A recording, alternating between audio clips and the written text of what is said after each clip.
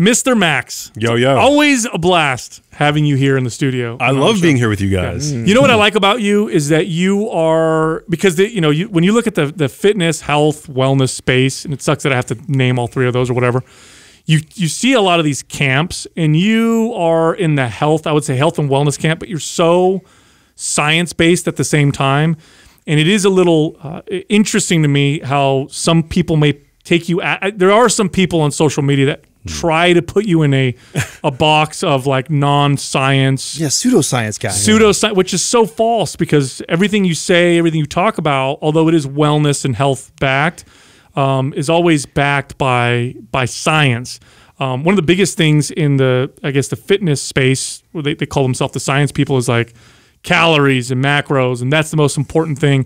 You talk about a lot of the other stuff uh, that's important, but um, I do want to talk about uh, how it makes you feel that you Are you still to put you in getting? Are you still getting beat up on social media? Do you still get people? How's that get even trolls? possible? How can he not like you? Yeah, no, I don't know. I mean, I, I had an experience the other day where I posted something. It was like a sponsored post. You know, we all have to make a, a living. And I posted something where I, I like to think that I, and you know, we can always improve at our at our craft and in our professions, but I like to think that I'm very balanced and fair and I don't make outlandish claims in my posts, no matter what I'm talking about. And I posted about a supplement that um, I've started experimenting with, and I talked about the the science underlying the supplement, not making any claims about what the supplement could do for you, not and and not telling my audience to go out and buy it. Just saying if you want to learn more, you can go to this website. And somebody, you know, a well-known figure, will say in the fitness space, came over and said. Or somebody, no, somebody tagged this person, which is usually how it happens. Somebody, ta- somebody, they wanna fight, Yeah, so- I mean? somebody left a tag and said, "Fact check, please," to this person, and they come over and not just fa- they they left like a personal. They said, "If it's well, if it's coming from Max, then there's probably little truth in it." You know, or something like that. That's what they said, and I was like, so I was so taken aback by that because we've never actually had like a one-on-one interaction or anything like that, and I wasn't making any crazy any crazy claims in my post. So it just you know further proved to me that there is this divide um, that you that you just mentioned, Sal, in the fitness space, um, and and and it's what separates, I think, the rest of us um, who are out there trying to provide like pragmatic and practical information you know out to the public. Not to say that that sponsored post was like the best example of me offering uh, practical health and wellness advice to to my to my audience but um, but i think that we need to have room when we're when we're talking about dietary and lifestyle interve- interventions for the question marks that there are in science, you know, and, and pragmatic philosophical approaches that ultimately are what guide people when they're making decisions at checkout. You know, these are not always data driven decisions that we make at the end of the day. And so I think to be bound by the evidence, um, to me, underserves the public. Well, there was one. There's one example of kind of what you're talking about, and I love using this example because as a as a trainer, you know, uh, when I got into fitness, when you first become a trainer, you get certified, you read, you know, your your books, and then you pass your tests. And initially, you start out and you look at your clients like this, like, okay. We're going to get you to burn more calories. I'm going to help you track your food. You're going to follow this meal plan, and then you're going to get all the results you want. That's all you got. Just do what I tell you. You're going to get all the results you want. Well, five years into it, you realize it's a terrible approach. This is not successful. Some people get results, but they all, you know, come back. Uh, everybody gains the weight back. This is a uh, just a bad approach.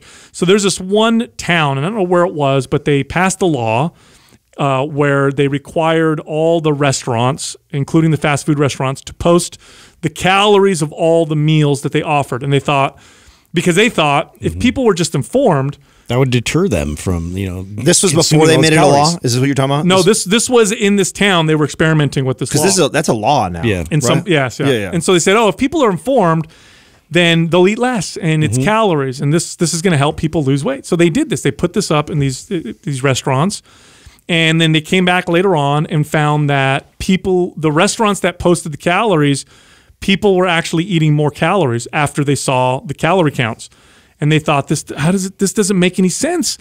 Why why are people eating more now that they actually see displayed in front of them the calories associated with the meals that they're eating? Now, as a coach, as a trainer, when I read this, I thought it's obvious because I know I, by this point I had understood behavior and I knew that rather than people going to the restaurant and saying, I could get the burger that's 800 calories or the salad that's 400 calories. I'll get the salad that'll save me 400 calories. Instead, this is what people do. Wow, the burger's only 400 more calories. I'll just get that because they had no idea, no concept, and it doesn't really mean much because 400 calories doesn't sound like that much. And if I can eat the thing that tastes better, that's what I'm. And that's what ended up uh, happening. Now you got into this not because you were trying to help people get ripped or aesthetic, but rather from a health perspective. Is that correct? Yeah, yeah. I mean, I was, um, you know, growing up, I was into bodybuilding and fitness, but uh, but my my entry point, my on ramp into doing this professionally and and publicly uh, was the fact that I got to witness my mother getting ill and um, and and ultimately passing, and I think that it's you know it's it's obviously the greatest tragedy that I've that I've ever experienced, but it's also a privilege in a way because it's showed me what really matters. And that to me is what sort of guides my philosophy and my approach to life. It's not, you know, getting 12 pack like shredded abs, you know, which I think is a is a great worthy goal for anybody that wants that, but that's not really what I think the public needs. You know, we look at data now suggesting that 12% of people have good metabolic health. And so to me, I think there's a real public health crisis that's going on. And I don't think that the way to solve that crisis is with like spreadsheets, you know, and macro counting and calorie counting and, and the like. I think that there's a, a, there's certainly a place for that.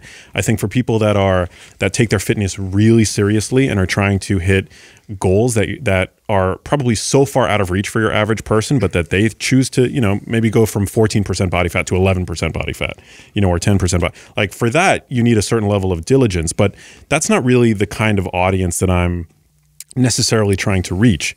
I think that those those those people are very well suited by the content that you guys create, for example, mm. you know. But um, but I've sort of been honed by my experience with my mom. I've been very, very lucky in that I get to go on TV shows like the Dr. Oz show, the Rachael Ray show, where I get to speak to a really large audience. And I go on those shows, which are taped in front of live audiences, and I see the kinds of people sitting in the audiences mm. live at those shows. And they, they're the sweetest people, but so many of them are struggling with problems related to their weight. You know, they're, they're, so many of them are overweight, many of them are over are obese, and we know, according to the data, that by the year 2030, it's projected that one in two people are not just going to be overweight, but obese. So I don't think that calorie counting really plays a role here, you know, or, or, or ought to play a role here. I think we need to know more about how foods affect our behavior, you know, with a, with a little bit of knowledge and insight into how food affects our cravings and our satiety checkpoints. I think that really can move the needle in a big way on this on this crisis. Well, I think of a different analogy than the one that Sal gave. I think of like all these lost souls that you're talking about, the 80 what 88% of the the population that are just don't have an idea or a clue and it's like handing all of them a bunch of TomToms or giving them like a you know a, your Google Maps or whatever. You and just you dated yourself. I did, I did, did, I? yeah, TomTom. It's still around. Garmin's and TomToms are still around. Doug, right? Save me here. I have no oh, idea. Oh, Honestly, Adam. Fucking Doug. Navigation devices. Yeah, you know what I. You know what I mean. Mountaineers still use them. No, so, I might not. yeah. But that's to me, that's what it's like, Yeah. right? So you know, because it's not that that doesn't work, right? If you wanted to lose thirty pounds and you you calculate your macros and you track and you weigh all your food. Um, it's a it's a very good approach to get there. Just uh, typing in the address to a location that you need to get and having navigation is going to get there. But the reality of it, you, you have to learn uh, you're gonna at one point you need to learn good practices and behaviors and learn about you know just the the basics and get a good grasp and understanding of how you should be taking care of your body. Otherwise, you're just kind of giving people the answers to the test, and that in itself it becoming dependent on that all the time. Very similar to and I and I speak to that one because this one is crazy for me. Like I remember when I first realized that um, I I have lost this this sense of direction. As a young kid growing up before the TomTom and the Garmin's came out, I was really good with knowing how to get around, and then I become so I became so dependent on that that I, I can't even get around my little town without using it all the time. And so I think of that analogy when I think of clients that I would tell, you know, eat this many grams of protein, eat this many grams of carbohydrates, eat this many calories, and hold them accountable to that. It's like, am I really teaching them how to be healthy? And are they really going to do that? You know what? That Long term. That brings me to something too, because I've seen you talk about this on social media in uh, Max, and actually get in debates with people. The the whole like calorie worshippers, the macro worshippers, well, that's everything. The people in the in the fitness space that believe that that is the most and only important thing.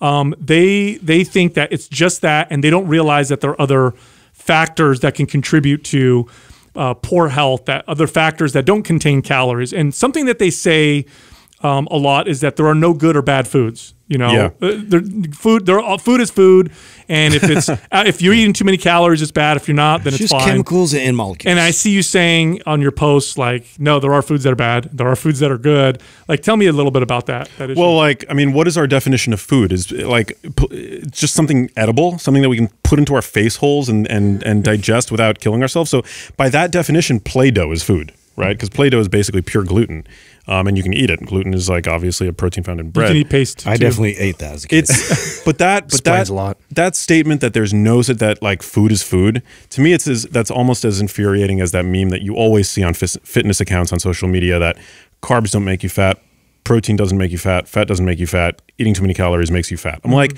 yeah that's a mathematical fact but that doesn't give me the advice. If i'm an overweight person eating ad libitum ultra processed foods day in and day out that doesn't tell me anything you know practical about how to shed the pounds, shed the weight. You know, what am I mm-hmm. supposed to do? Open up a, you know, like go into my Google Docs, start a spreadsheet and start counting calories. I think people need to know about how foods affect their behavior. And in a time when 60% of the calories that we consume come from these ultra processed foods, I think it's a, it's, first of all, it's, it's completely anti-science to say that there's no such thing as a good and bad food. In an anti, in an ad libitum feeding environment, there are good, good foods and there are bad foods. And the, and the bad foods are the foods that drive you to overeat. These are the ultra processed foods that by the time you've eaten them to satiety, you've already overconsumed them. You know, foods like Oh wait, so let's back up. So that's a very powerful statement. So some foods, when you eat them until you feel full, the way that they've been made or engineered, they've actually made you eat more calories than you need because what they move that bar, that bar of how you feel, that that fullness. Yeah, because they because they're so not satiate they're not satiating and they're highly calorie dense. And so there was this amazing study that was published in 2018. Kevin Hall was the lead researcher. He's a highly regarded obesity researcher and and what they found was that in an ad libitum feeding environment when you give subjects ultra processed foods to consume, they end up consume to the to the same degree of satiety as they would on a minimally processed food diet. They eat about 500 excess calories per day. And if you stretch that out over the course of a week, that's a pound of weight gain every single week. Um, and then when they did, it was a crossover trial. So when they put those same subjects on a minimally processed food diet, um, they found that they actually came in at a calorie deficit, like naturally. And these were, again, ad libitum. What's so important about that, that term, what that means, it's a free eating environment. So they're able to eat as much as they want. They're able to eat to satiety, to satisfaction. And so I think that's really important because at the end of the day, like, you know, you don't want to have to rely on your willpower to reach your ideal body composition or your ideal metabolic health because willpower is a fleeting resource. It's a limited resource. Um, you know, it's a, it's a muscle that, for, for the most part, is fighting a losing battle in the context of the modern food environment. You also don't want to have to pull out your scale and calculator every single time you're about to eat for the rest of your life too. not only that, but there's a huge margin of error on on on what we believe to be calories in and the calories in calories out you know portion of the equation, right? Like nutrition fa- nutrition facts labels are not always super accurate. Also, depending on the nature of the food itself, you're absorbing or not absorbing a significant portion of calories. For example, the USDA uh, just published a study where they found that um, whole nuts, when you eat a, a, a handful of whole nuts, you're actually only absorbing about 70 to 80% of those calories, contrary to what was previously thought that you absorbed 100% of those calories. So, so if you're counting the calories of the nuts that you're eating, for example, that's not an accurate number because because whole undigested particles of those nuts flow through you hmm. without being actually absorbed. But if you're looking at ultra processed foods, for example, foods made of refined grain flour, or even like these some of these like keto foods, you know, I'm not like turning a blind eye to like you know these ultra processed keto or paleo approved foods. You're absorbing 100% of the calories in those foods. Well, not only that, not only are you absorbing all of them, but they all FDA allows them to be manipulated by like thirty percent. You know that the labels can be up to hmm. thirty percent wrong. So if and and of course if they are marketing themselves as a health food, they're going to lean on that direction, right? So if I'm trying to say I'm low calorie, low carb, low fat, low sugar, whatever, they're they're going to be pushing the boundaries on the the percentage they can get away with. So if the FDA says okay, you can get away with 30% up or down on these calories. I'm promoting myself as a as a, a health food.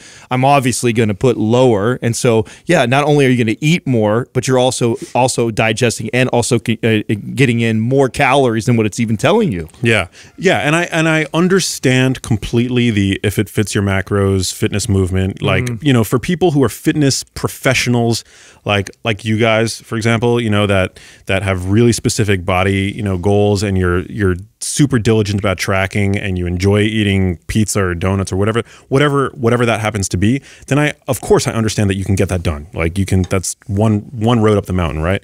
I just don't see that as being a solution for people at large. And so when I see people with big profiles promoting this idea that all foods are the same, there's no such thing as a good and bad food. Fat doesn't make you fat. You know, carbs don't make you fat.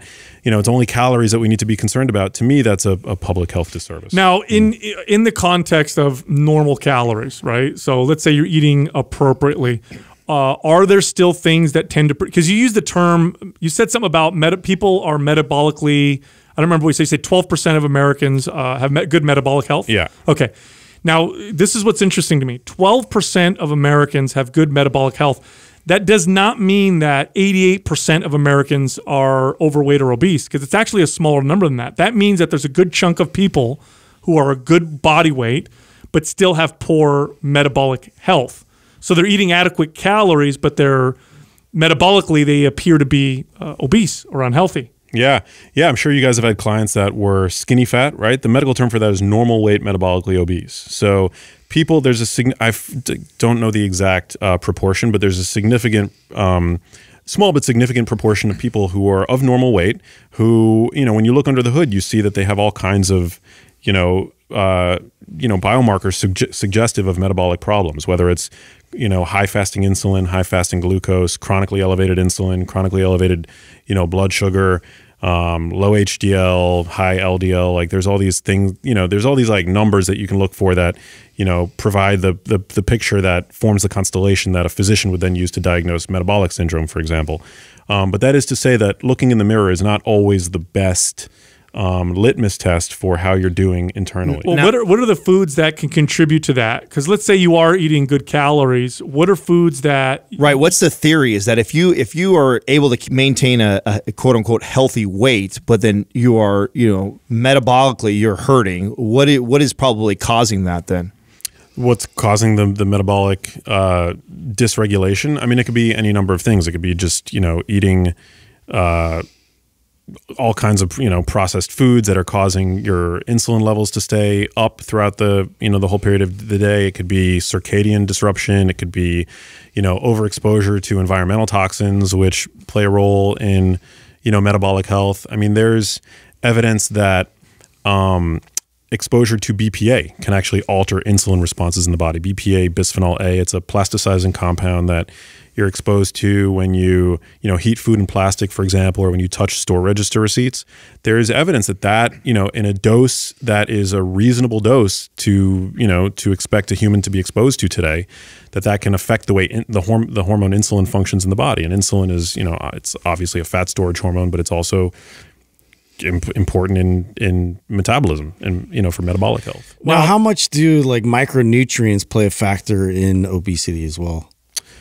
Um, I think that micronutrients are super important. Uh, you know, when it comes to fat loss, fat gain, um, I think it's pr- it's probably you're probably better suited looking at the big picture. You know, the bigger picture, macronutrients.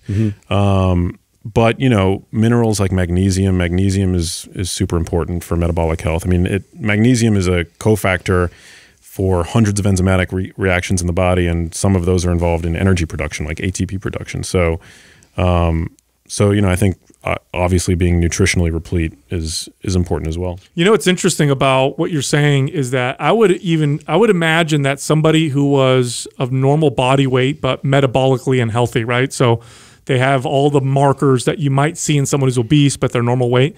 That sounds like a very dangerous. Uh, it could be a dangerous situation because they may they might not even be prompted to get checked out. They may think that they're perfectly fine because they look fine, you know, in the mirror, and that uh, that could be a problem. Uh, what about macronutrients? Uh, like uh, we'll talk about carbohydrates for a second, but sugars specifically. Do sugars have worse effects on the body generally? Because we hear a lot of debate around that. Like you, you hear the sugar is bad for you, it's evil, and then we hear the other side that says sugar's fine so long as your calories aren't high. Like, what's the deal with that? Well, added sugar for one is not satiating at all, right? So it provides mm-hmm. no satiety benefit, and yet it's empty calories. And as I mentioned, we now live in a world where so many of us are struggling with, you know, our ever expanding waistlines. And also, to Justin's point, 90% of us are deficient in at least one essential nutrient. So to me, in an environment where we're overfed and undernourished, eh, you know, get, like being being an apologist for added sugar to me is again another public health disservice, which we which I see all the time in the fitness space. Um, is is a little bit of added sugar bad if you're if you're working out all the time and you're super active, you're getting your ten thousand steps a day or, or whatever the recommendation is? No, I don't think that it's it's that that huge of a deal. But if you have, you know, glucose homeostasis problems, if you you know if you have glucose tolerance issues, then added sugar and and really starchy high carbohydrate foods I think can be very problematic because your in, your blood sugar then will become elevated higher and stay elevated longer than it will for somebody who has normal glucose uh, regulation. What are some of the best satiety uh, producing you know, macronutrients or foods? Like, what, what have you seen in terms of things that people can eat that'll help them naturally want to eat less?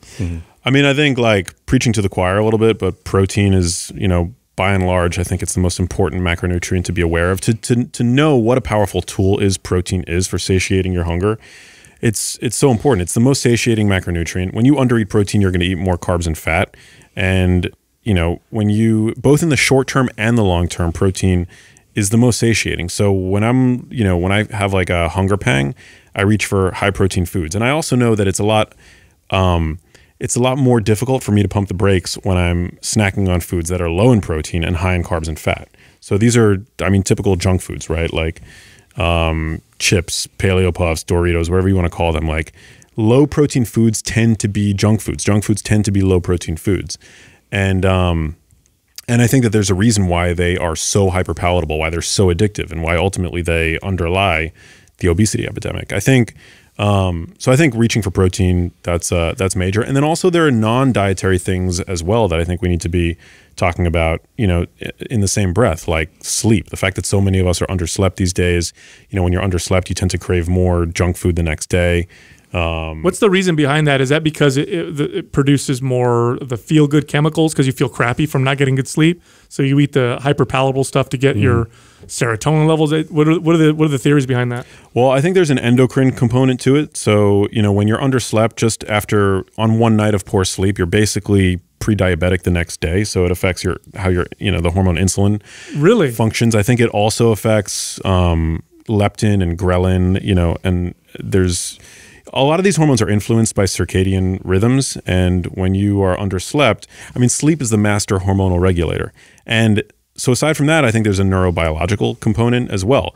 So when you undersleep, um, there's less activity in the front part of the brain called the prefrontal cortex, which is sort of the, the home of decision making um, and executive function.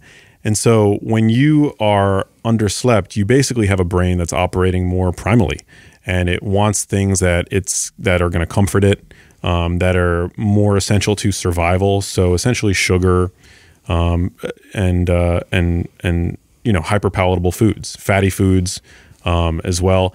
Emotional regulation becomes a lot more difficult when you're underslept, and and that's that sense of willpower. You know, like I think. Uh, there was a there, there was an experience that I had very early on. It doesn't really have anything to do with food, but I went through a breakup and I and I had this subjective experience where I realized I learned that on days that I was underslept, it was a lot more difficult for me to deal with the the emotions that I was feeling. Yeah, you know, true. when I when I went through when I was going through that breakup. And so I think the same thing happens with food. It's just like when we're underslept, you know, our hormones are all dysregulated and uh, and our brain just doesn't it's not like working in our, you know, that that subconscious hunger just isn't working in our favor. It's working against Well, you're us. you're not now. You're moving in the direction that I, I like to talk. 'cause Right now, we've been talking a lot about you know calories and and macros and micronutrients, but really, to me, the stuff that really made the difference with clients was was teaching them the behaviors, and that's the stuff that I feel like the fitness space. The the the bodybuilders of it. Yeah, we just don't we don't talk about that. It's like okay, we can weigh and measure your food all day long, but one of the things I remember seeing happen when I was competing was I, I was blown away. I remember telling these guys uh, when I got into it, we were we were all hanging out together, and we and I was in the middle of uh, competing in men's physique, and I remember coming back and telling them, I said, "Dude, I have seen more eating disorders." In this competitive bodybuilding world than I had previously seen in, you know, almost two decades of training average clients. And that blew my mind because we look at their bodies, right? We look at them and they look amazing. They're on covers of magazines, everyone's following them, taking their advice. But the reality is it's uh, the relationship it, it, it promotes this this binge and restrict behavior and forget the, the science of the calories and the measuring and the weighing and the macro micro. It's like when you tell somebody and you have them restrict like that and they are calculating their weighing and they're staying so dialed in, you create this behavior of I can't. I can't have this. I can't have this. I can't have this is bad. This is what and then you finally break, which everybody eventually does. And a lot of times and the, the when you see it in the competitive world, when they break, it's after they did their show. They've disciplined themselves for two months, three months, maybe even six months long to get to that goal. And then they just cut loose. And I'd see guys and girls put 20, 30 pounds on in like four days. I mean, that's just insane to me. And that's it. That's obviously uh, an example of like an exaggerated version of what most people go through. But I think they go through a, a, a similar thing of going through this. Okay, I'm on a diet now. It's New Year's resolution. Let me start weighing my food. I'm going to have these salads. I'm going to exercise every single day. And all it does is it promotes this binge restrict behavior. And I think that is the more important conversation than even getting down to this calorie and macro talk. Oh, totally. You talked about protein, Max. I'll give you an example of, of what Adam's talking about. So I figured this out later on as a trainer, but I would tell clients because protein's very satiating, right? I would tell clients, hit your protein goals, don't worry about anything else. And naturally, they would eat less. Mm-hmm. Naturally, just because it because I know it was so it, so satiety producing. So I'd say whenever you have your meal, eat your protein first in your meal. So if your goal is 25 grams of protein per meal or whatever, eat that first, then eat the rest. And Super then smart. And they would just naturally lose weight, and they thought, oh, the protein's making me lose weight. No, it's because of the it, it produces more satiety. Now that advice, because you are in the wellness space, sometimes that does put you at odds with the vegan and vegetarians, doesn't it? yeah. Mm. Yeah, it does. I like people from all these different factions like like to come out and attack me. yeah, what's the deal with that? But I don't I don't care. I'm just trying, you know, like bring it on. I'm because you're handsome, bro. I'm just I mean saying that's that's working against you. Trying to trying to keep up with the with the looks of you guys. um, no, I mean, yeah, protein I think is is incredible is incredibly important and I appreciate it and I value it. Um, and uh, and I think that, you know, this whole this whole low protein diet cult to me is something that I think is another thing that's that's harming people. First of all, we don't know like the the results of taking somebody who lives in a first world country who's exposed to you know the modern the standard American diet and then is told to eat a low protein diet and then eats a low protein version of the standard American diet. I mean, to me, that just sounds like a recipe for disaster. Mm -hmm. And there's really no good evidence that low protein diets um, promote longevity or health. In fact, people over 65 who eat higher protein have greater longevity and reduced risk for cancer. So, um, so I don't. I think that that's just a, a, yeah, not smart. Also, there's this concept of anabolic resistance, which I'm sure that you guys can speak to. Mm. But, but um, as we get older, we probably need to consume more protein to maintain our muscle mass. Um, so I think that that's these are non-trivial points. Not that, to mention when I look when we when we look back at our clients, it's it was the number one uh, macronutrient that I had to address with all clients, uh, it, normal people. The only people I ever had to say eat less protein to were some bodybuilding fanatics that I adopted. Like if I got you and you had been bodybuilding for three years and for some reason eating you know three grams of protein for every pound of body weight, I would end up telling you to scale back because that's why you're having a hard time mm. shitting and you had all those issues with your digestion because of how much you're eating. Everybody else, every other male and female that, that just came in for overall health or losing weight or wanting to put a little bit of muscle on or work on their mobility, every one of their diets that I says all under consumed protein. Mm-hmm. mm-hmm. It's it's for sure one of the most neglected. It's hard to do. There's um there's this uh, researcher Bill Campbell who uh, I follow on social media. He's like pretty well known in the in the bodybuilding fitness space. He's like a body composition scientist, and he um he posted this. He did this like little study with his students where he asked them all to try to consume one gram of protein per pound of body weight, and he said that only about half of them could adhere to it because it's just so damn hard to do. Mm-hmm. It's so hard to do because it's so satiating. Mm, yeah, it is. And uh, along along those lines uh, with with protein let's say I have two pieces of meat, uh, equal calories, uh, equal grams of proteins, macros, all that stuff. One is, you know, what people might say in your space, especially high quality. Uh, grass fed, the animal was in good conditions. The other one, factory produced, grain fed. What are the differences? They got the same calories, same protein, same fats. Are there any differences? Uh, with a grass fed with a more, a more proper. Yeah, I mean, I think that I think you know, obviously, in an ideal world, we're all consuming 100% grass fed beef, pasture raised eggs, and free range chicken, or, you know, things like that. But I also and this is where like the paleo people will come at me. I, I also feel and, and I've become a lot more moderate in my stance over time because you know, I truly believe that like if you live in a part of the country, like a food desert where you don't have access to 100% grass-fed beef, for example, um, is is eating grain-fed beef bad for you? And my answer to that is no. I think that it's it's a much better option even than you know boxed mac and cheese, which is I think you know the kind of food that that you know it basically typifies ultra processed foods foods which many people are eating you know for all meals of the day. And so you know, regular, as much as I, I, would never get behind and endorse factory farmed meat, I just can't do that from an ethical standpoint because, you know, it's so cruel to the animals. Like, it uh, it's still a, one of the most nutrient dense foods available right. to to most people. And thank you know, uh, we love to talk about the you know the harms of modern food production and the modern food environment, right? But like the food system is also is pretty great in that anybody anywhere can can access beef Mm-hmm. you know, mm-hmm. and uh, and chicken and things like that, or eggs, you know, conventional eggs. Like I, you know, I don't buy conventional eggs because I just know that you know they've they just how they're how they're produced. You know, like the the the chicken has been reduced to this egg laying machine, and they're kept in these awful crates and whatever. But that being said, like even a conventional egg is still an amazingly nutrient dense food. Mm. Now, but there are some some some small differences though, right? Like yeah. if I had a pasture, you know, raised egg versus a conventional egg, what would I see nutrient wise difference? Well, you can always tell the the how healthy the chicken was by the, the, the robustness of the shell of the egg. So if you take a conventional egg, you'll notice that the shells are very very thin and brittle. Oh, interesting. Yeah, whereas a pasture raised egg, the the shells are really hard to crack. And this is like no joke. Um, there's just they have higher mineral density, like in the in the eggshells. Um, you can also tell from the uh, the color of the yolk um, a pastured egg is going to have like a much darker, almost orangish hue to the yolk, and that's due to the higher presence of carotenoids.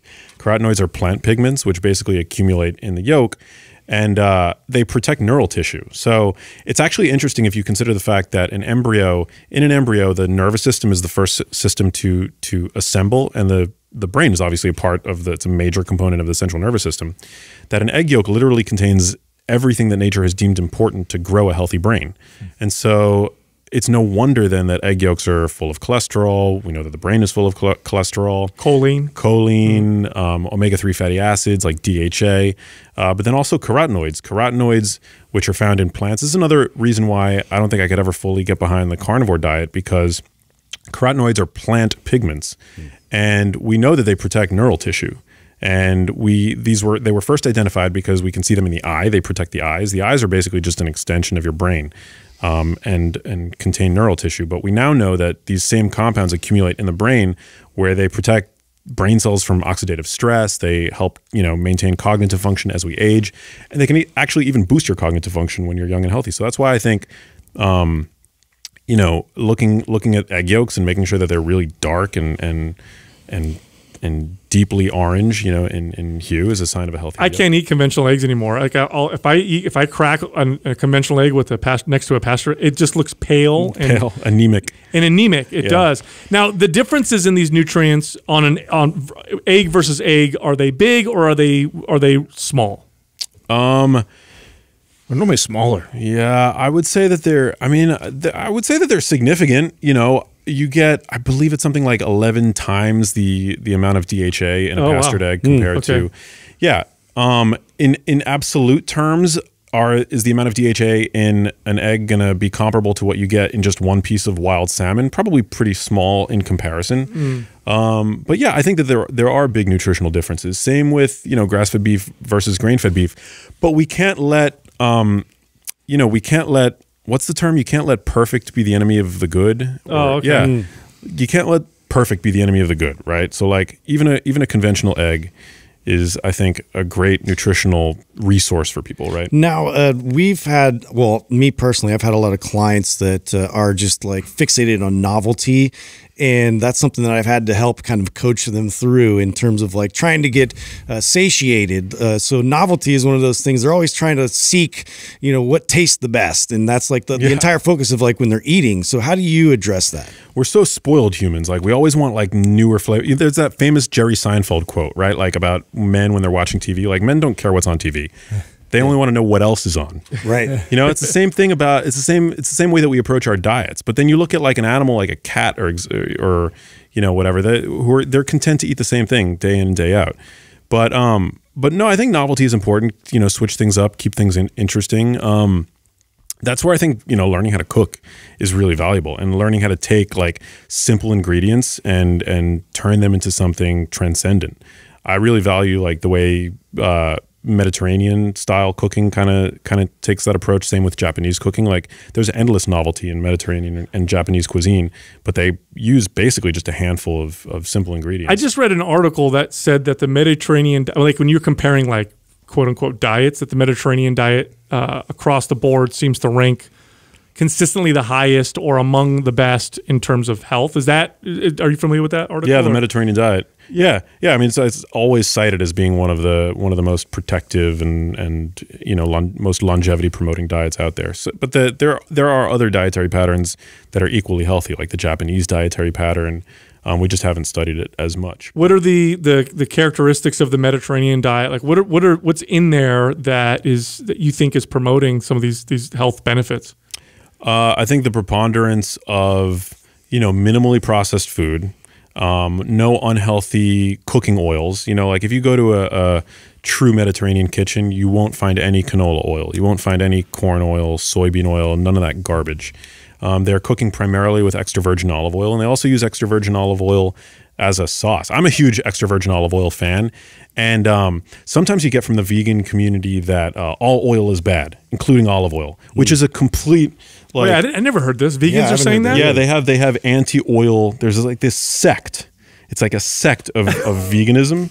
Of, of the, of The real plant. hardcore. They're Yeah. like, you know, I like being vegan. It's not extreme enough. Yeah. I need to get more extreme. Yes, exactly. They're anti-oil, and uh, and um, yeah, so they like they they've banished all kinds of like liquid oils, including extra virgin olive oil, which to me makes no sense. It's also not a science-based like that right there. Is a is a very blatant divergence from the science to say that extra virgin olive oil is not good for you. What's It's- the it's- reasoning behind this? behind the no oil. Yeah. I think they. I think their claim is that it da- damages the endothelium or endothelial function, which is how basically your arteries respond to environmental pressures um, a- and, are able to expand and contract. Uh, you know, whenever you eat fat, it's going to fill your blood with triglycerides. You're going to see, you know, you would be able to see that on a blood draw. Uh, you know, I think most most recently that was illustrated in the you know documentary, and I'm using air quotes, Game Changers. Um, but Propaganda. yeah. But that's totally normal. It's the same thing like when you eat something that's we know that chronically elevated blood sugar is not good for you. Does that does that mean that the occasional blood sugar spike is also not good for you? No, not necessarily because in a normal metabolically healthy body, you your body brings the blood sugar right back down, right? Same thing with postprandial a postprandial elevation in triglycerides. There's absolutely nothing wrong with that. Um, so I think that that that sect has sort of it's been a bit of a uh, uh, a permutation from, or like, you know, it's sort of been this like extrapolation from, you know, the fact that well, meat is high in fat, so we have to be against high fat diets, and if we're going to be against high fat diets, then we have to be against pure oil. And so, but to me, none of it makes any That's sense. how ISIS was created. Yeah, pretty much. Yeah, it, it basically is like the ISIS of the plant based community. These are the, they're like carbs only. Yeah, yeah, yeah. Everything else is bad. It seems to me because when you look at oils and you talked about the you know the bad oils, right? Canola and some of those those processed vegetables. It seems to me like the more natural. I hate using that term because now people come after me, but the more natural something is, the it tends to be more healthy. And when you look at something like olive oil. In order to get olive oil, all you literally need to do is take an olive and squeeze it. You could actually squeeze it with your fingers and produce oil. You can't do that with like canola oil or corn oil, right? You ever try and s- s- go get some corn and squeeze it and see if you get any oil? Yeah, good luck. I milk it sometimes. milk the corn. just for fun. Yeah. that sounds disgusting. I don't know. So okay, so let's. What's the deal with these unhealthy fats for or oils? What are they, and then what makes them un, unhealthy, or what do they do in the body? Yeah, so grain and seed oils are extracted from you know grains as you mentioned, like corn, legumes, like soy, um, gre- you know the seeds of grapes. I'll give you a really great uh, uh, story. So grapeseed oil is now sort of has this health halo, right? Because it's you know people think grapes healthy, grape seeds. How could they anything be anything but healthy? But they were actually a throwaway product of the wine industry, a byproduct of winemaking. They would take the seeds, which were very you know rich in tannin, so very bitter, um, essentially useless useless byproducts, and throw them out until one brilliant um, you know, industrialists realized that you could squeeze the seeds, get oil out of them, and sell that oil for industrial purposes, and then ultimately run it through a bunch of different processes that clean it up, get the bitter taste out, make it scentless, and turn it into a uh, into a into a cooking oil. And now grapeseed oil is on track to become a six hundred million dollar a year business. Wow. Yeah. Wow. Um, the problem with oils like grapeseed oil, corn oil, you know, soybean oil is that they're they're incredibly refined. So they go through all these you know industrial processes. Unlike when we produce olive oil, which Sal mentioned, you know, it's just made via squeezing an olive. Um, one of the one of the processes that all these oils undergo is called deodorization, and that process actually creates trans fats. So we know that trans fats are not good for us. The most common way in which they would appear in the diet up until just a few years ago was in in the form of partially hydrogenated uh, oils. But the FDA realized that trans fats, there's no safe level of trans fat consumption. Those were banned. But trans fats lurk in any of these, you know, grain and seed oils once they go through that that processing, that deodorization step. The other fact um, that I think makes them, you know, unworthy of being included in your diet in any significant way is the fact that they're predominantly polyunsaturated fat. Polyunsaturated fat, there's nothing inherently wrong with polyunsaturated fat. We need them to live. You know, essential fatty acids, omega 3s and omega 6s are, are polyunsaturates, but they're they're the they're the least chemically stable of any other of any type of uh, any other uh, you know type of dietary fat. So they're more chemically unstable than monounsaturated fat and saturated fat. And the problem with that is that they just e- they easily go bad. They become oxidized, and then when we store them and we expose them to light and oxygen and heat, they they basically become damaged fats. And damaged fats, in essence, damages you. You know, you're basically ingesting pro-inflammatory substances that then integrate themselves into your you know your cell membranes and also very easily integrate themselves into your brain because your brain is constructed primarily of polyunsaturated fats. Now, this is where I, I feel like you get labeled as a pseudoscience guy because you take apart something like this, like grapeseed oil, and then mm-hmm. and if if grapeseed oil is equal to olive oil in calories, and you eat the right amount of calories, then you're totally fine. And and I, I don't think you would even say that grapeseed oil is that bad that's going to kill somebody if you you replace grapeseed instead of olive oil. Do you think it's it's it's the assault of all these things that is so damaging and so bad, or would you actually say that this one thing is that awful? Well, I think with grape with grapeseed oil, it's a dose makes the poison kind of scenario, um, and I think a lot of the the evidence based, uh, you know, those in the evidence based camp would say that well these oils you know there's something good about you know there, there might be some positive aspect to them in that they're not saturated and so they can lower your cholesterol so they do do that.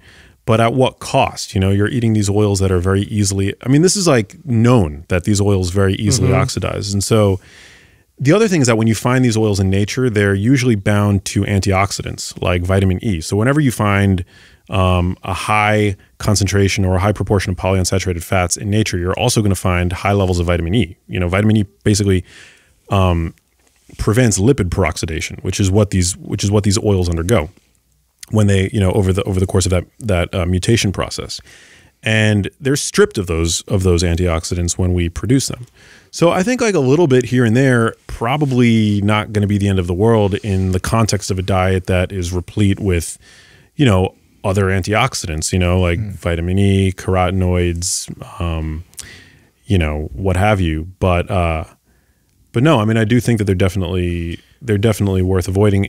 And and also like the the long-term data like isn't really there. So you know another thing that i like to remind people of is that absence of evidence is not evidence of absence. So the fact that we don't yet know how the chronic day in and day out consumption of these oils affects our long term brain health. Um, and that is a fact we don't know, is not evidence that there's no effect. It's just evidence that there's no evidence. Yeah. Right. You know, there was a study that they did. It was an older one where they lowered people's cholesterol um, by switching out their oils. So they went from saturated fat to these these types of fats that we're talking about right now. These um, highly processed vegetable oils, and they did indeed lower their cholesterol, but their health outcomes were worse. Yeah, that's the it's the Minnesota Coronary Survey.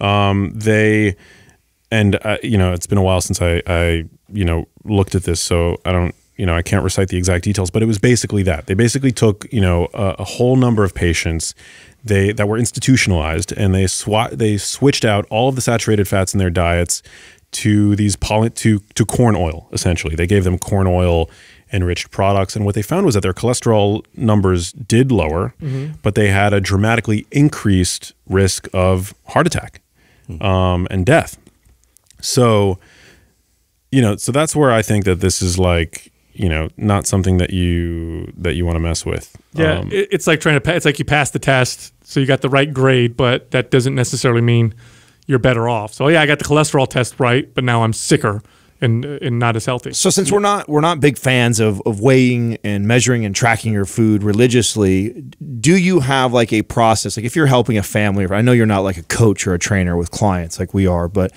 if you're helping a family member or friend, is there like an order of operation of things like you kind of tell them either to get out of their cupboard or to or to have more of? Like, have you do you go okay this this this and this? Let you don't need that. We can have this instead, or make sure you're getting more. Is there an order of operation for you when you're helping somebody? Yeah, I mean, I try these days. I try to just get people, you know, to to move away from ultra processed foods, whether those foods are, you know, grain based or even like, you know, I mean, and I'm guilty of this. I, you know, I eat keto processed food products like no tomorrow. You know, it's it's like I, I eat them, but I know that they're. It's very difficult for me to control my my moderation of those foods. It's just that that's how I you know choose to indulge. But generally, like I tell people that that you know the the more you can move away from ultra processed foods and and reach instead for minimally processed foods, I think that you're going to be well suited. And I also, you know, I mean, I'm I I tend to have a bias for low low carbohydrate diets for most people. I have to stop you at the minimally processed thing because Sal says it a lot too, and I think it, I think you guys are saying that to protect yourself because almost everything is basically processed. Yeah. But what you're really saying is whole foods. Yeah. Okay. Yeah, exactly. Like foods with singular ingredients, you know. Right, like- right. Like banana. Because people hear that and they go like minimally processed. Oh, this one has less than that thing. You know, this thing has hundred, so this one only got twenty five. So I'm gonna have this thing. But it's really minimally processed for you guys means whole, Whole foods. foods. Mm-hmm. And the only reason why you say that is because almost even almost all whole foods are processed somewhat. right? Right. Well, we process when we cook. That's why you know, exactly. That's why you. I know you say that to protect your ass. Yeah. I, I gotta gotta protect my butt. you Yeah. know? Yeah, Um, definitely. Yeah, Whole Food Whole it Foods tight. don't have extensive ingredient lists. They are the ingredients, you know. And um and I think in insofar as we can like learn to cook and process these foods ourselves, I think that's great. But when foods are are industrially processed and become what food scientists refer to as ultra processed, that's where I think you have problem. That that problems. That's where it's you know it's like you get these food products that take your body no effort whatsoever to digest. You're absorbing like 100% of those calories. Not only that, but you're absorbing them like really high up in the small intestine. Like Yeah. it takes your body like no effort whatsoever to assimilate them. And I think that hormonally probably has some downstream consequences as well, right? Like you're absorbing all of that that refined grain, that glucose like like right away and I just don't know if your body has the capacity to uh, to rebound from it quick enough for you to stop eating and to recognize, you know, to have that sort of acknowledgement that, like, in terms of your satiety, that I just ate food. Yeah, I've had to regress that advice even further, right? Because I mean, maybe for us or people that are in the fitness and wellness space, it's uh, it's easier to to digest that and, and go, okay, I can do that. I'm going to eat all these whole foods. But what I've had to do is to reduce it all the way down to like a thing because so many people eat such a highly processed diet. I normally will, you know, have my client go, okay, this is what I want you to do. Don't change anything. Eat all your food, eat your Snickers bars, eat whatever it is you eat during a week and just track it for me so I can see. And then I only pick like one or two things I change. Because that, that in itself is so difficult for most people. If to take somebody who eats almost all processed and to radically change them to all whole foods is almost too much. And I've had more success taking somebody like that and just getting changing one or two behaviors that say, listen, this is so much better for you if you do this, and it's still good, you'll enjoy it, get rid of this, have this instead. I've had so much more success long term with those people than I have for somebody who comes in and I say, "You here's your here's your meal plan. You eat you know 150 grams of protein. You're eating this, this, this, and follow this to a T. Mm. Stick to that for six months. They get in great shape. Those people almost always, like 90 plus percent of those people, put all the weight back on. I have way more success even just changing a few things in someone's diet as far as like their long term health. Well, you, it's hmm. like it's the difference between like trying to lose weight and, and weight loss just happening. And what I mean by that is like if I if I start removing heavily processed foods, we know I'm going to eat less naturally versus counting calories and macros and trying to eat less. Now, both of them will get you to eat less, but which one is more sustainable? Mm-hmm. Honestly, like which one, which situation you want to be in? And this is what it took me a long time to figure this out, Max. Like at, at some point, I was like, man, my clients are failing mm-hmm. consistently. I need to figure out a way for them to eat less, just kind of like it happens on its own. And that's the way that. Well, I think that's it's the psychological part mm-hmm. because you're not telling them they can only have like that, there's something about that when you say you can only have this or get that cut this out versus hey instead of eating this let's eat this. Hmm. And I'm not telling you to weigh it. I'm not telling you to measure it. I'm not telling you to calculate it out. I'm just I see something in their diet that I think is a poor choice. I can give them a better choice. And if I can just get them to make that a habit instead of reaching for this they reach for that. And I can train them to do that. I already know naturally the calories are going to come down. They're going to lose some body weight. And then I know that I'm also playing into the psychology of I'm not telling them they can't eat or restrict you know? You're that's just why exchanging. that's why I feel like counting calories is and staying there is like the opposite way to get to the right place. I feel like you're starting at the wrong place. Let's start with the behaviors, um, and then start to move uh, in that direction if we need to. Um, you know, start counting things. And usually that happens when you're trying to get shredded, but most people could get a good body weight and good health by not even really needing to focus um, on those types of things. Now, you mentioned you tend to navigate Max towards lower carb diets. What's the reason behind that? Yeah, I just think well, first of all, you know, I mean, I start from a place of there of knowing that there's no such thing as an essential carbohydrate, right? And then I titrate my carbohydrates up or down depending on my activity levels and my performance goals. Um, which you know I think is very easy to do, intuitive, doesn't require a spreadsheet to do. Um, so I'm eating more sweet potatoes, white potatoes, you know, rice on my sushi, for example, um, when I know that I'm using those carbs to support my my energy levels. If I'm just, you know, if I've spent a week basically being sedentary, which, you know, it's been 6 months of quarantine at this point, like I'm sure that's not that unusual for some people out there. Then I'm trying to eat lower lower on the carbohydrate spectrum just to manage my, you know, glycemic variability, keep keep my blood sugar down. Also, you know, like I think that that there is an effect on in terms of your hunger levels. You know, if you have like these swings in blood sugar, I think that that affects, you know, your hunger. And also, as I mentioned, protein um, is going to be the most satiating for that. I also think that there's value in sort of always kind of functioning or or or at least occasionally functioning in a in a glycogen depleted state.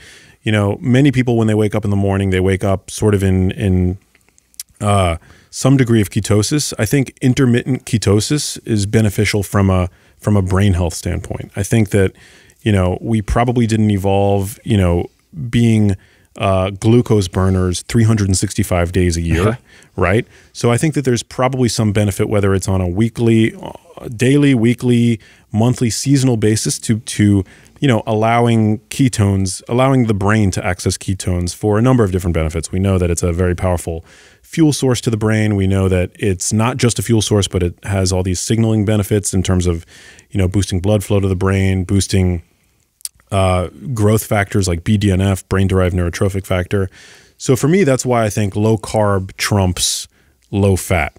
And we know that high carb, high fat, you know, is sort of the basis of the standard American diet. So I think you've kind of got to like, I think you're, I think it's it's best to kind of pick one or the other. Obviously, we have you know populations around the world that thrive on a low fat diet. So I'm not saying that you can't have a low fat diet and thrive, but I also think there's um, benefits to hunger regulation on a low carbohydrate diet, and uh, and so for me, like that, you know, like there's no doubt that low carb diets help people lose weight and and you know achieve their goal body compositions. It's not the only way to get there, obviously, but um, but I do think that it's helpful. It's a helpful construct for people. People, I think it's pretty easy also for people to that don't have a lot of nutrition knowledge to be able to identify what has a lot of carbs and what doesn't, and uh, and so for that reason, it's a good um, starting framework for somebody to understand. But then going to like the keto side of things, I think a lot of like people in the keto space are just eating too much fat.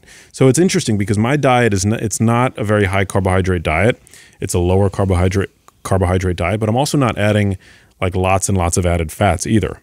You're not going out of your way to like add fat. to your fats diet. and oils. No, because fats and oils are a very nutrient poor food. The calories add up, um, and uh, and yeah, there's just no need. There's just no need to do that. What's what about uh, time of day? Are you familiar with any research? Um, you know, recent research talking about best times of day to eat, or because you know, eating late at night. You hear some people say it's not a good idea because it messes with your circadian rhythm, or you should fast. Or what about time of day? Is there anything that you can speak to that? Well, I think uh, what's called uh, early time restricted feeding, so eating an earlier dinner, um, probably has metabolic health benefits uh, like better blood blood sugar regulation, better blood pressure. It can be a very useful tool for calorie control.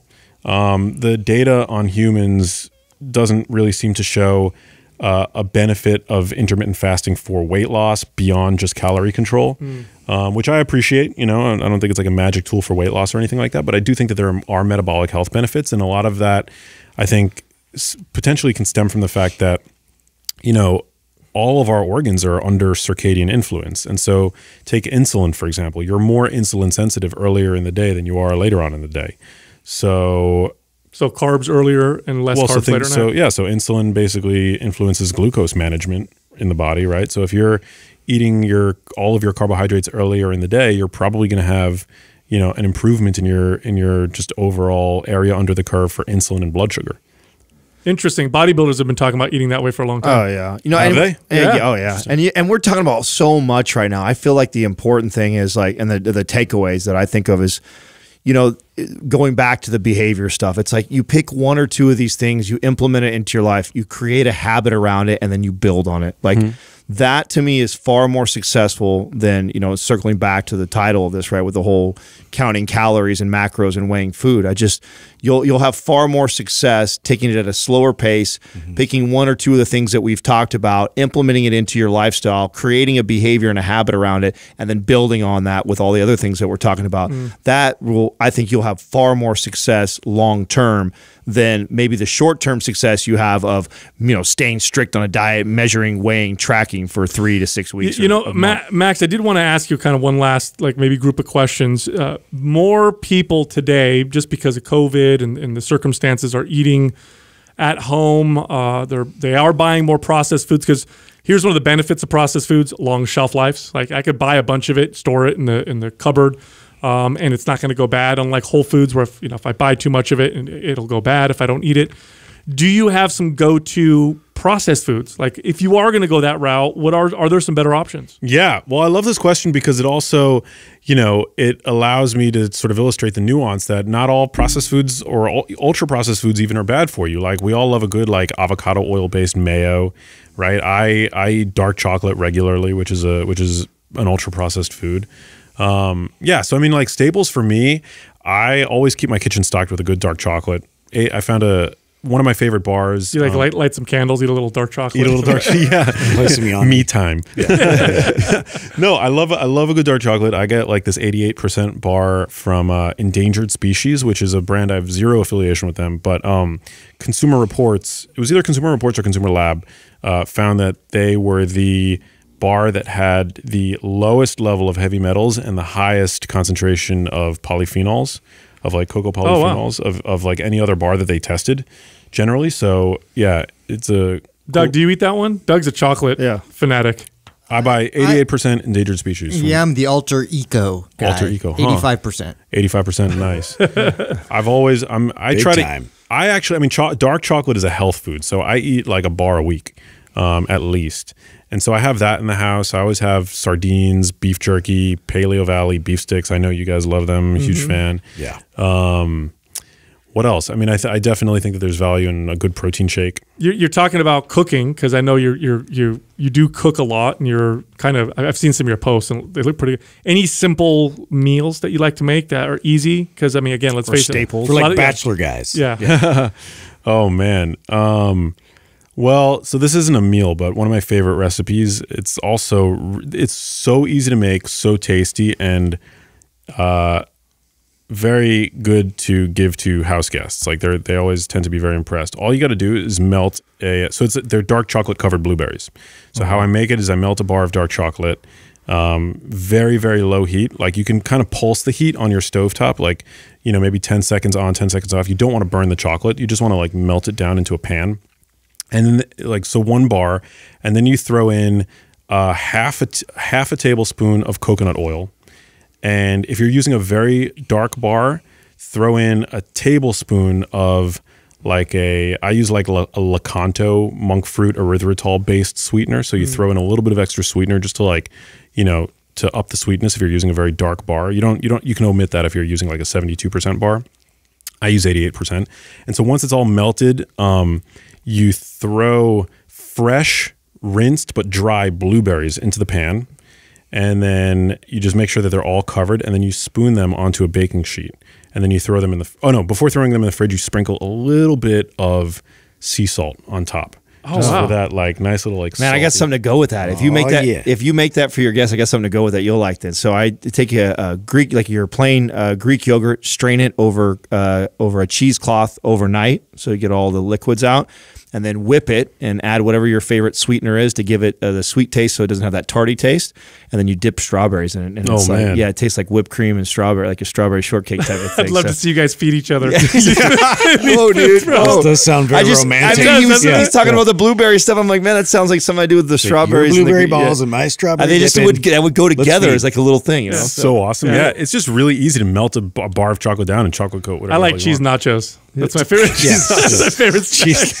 You know what I'm saying? See that, homie? That's a home run. Yeah. Well, dude, Max, you're always always fun to talk to you, man. I love having you in the studio. Um, your book. How's your new book doing, by the way? I mean, you, it's been out now for how long? It's been like six months. Yeah, it's doing well. It's called The Genius Life, and it's about all the little things that you can do throughout the course of your day to um, improve the way you feel and uh, boost your health long term. So it's 360 degree sort of lifestyle approach, touches on exercise, physiology, environmental toxicity, diet, circadian biology, nature.